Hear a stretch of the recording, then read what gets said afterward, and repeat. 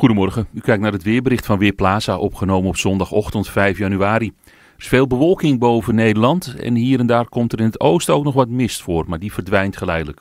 De bewolking die blijft wel overheersen en in de loop van de dag kan er wel af en toe eventjes wat zon zijn, maar nogmaals, die bewolking die is erg dominant. Temperatuur ligt vanochtend rond de 5 graden, vanmiddag wordt het zo'n 7 tot 8 graden en dan waait er een matige zuidwestenwind die aan zee af en toe vrij krachtig is.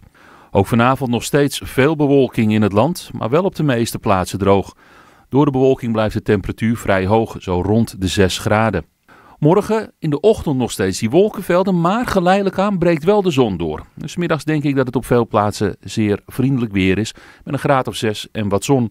De wind waait uit het zuidwesten en is nog steeds matig tot vrij krachtig. In de avond gaat de bewolking toenemen en in de nacht naar dinsdag gaat het dan regenen.